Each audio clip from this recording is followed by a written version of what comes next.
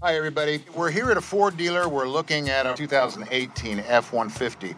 And before you order your bull rings, we want you to check out something. If you have a six and a half or eight foot bed, you want to pay attention to something. And these will be in the front pockets right next to the cab of the truck. Again, six and a half foot bed, okay? Take this pop cover out, and you do that by using a flathead screwdriver. Put it in that groove and push back it'll crown up and it'll come right out of there. And if you do it that way, you're not going to scratch any of this surrounding area. Now, if you take a look at this particular pocket here, you notice that this black rail is not centered on the truck rail.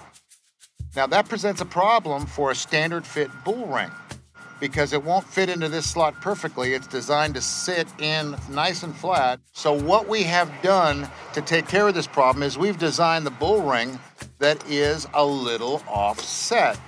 And you can kind of see this, our oval here is not perfectly in the middle.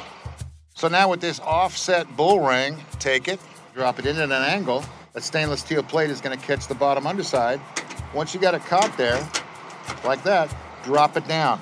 Now, you see how perfectly flush fit this fits with the offset design.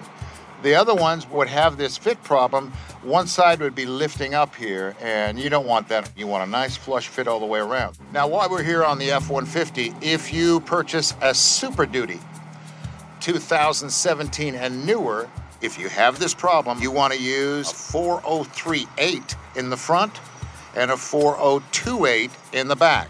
So again, 2016 and older Super Duty Ford, 4038 is your part number for the front, 4028 is your part number for the back.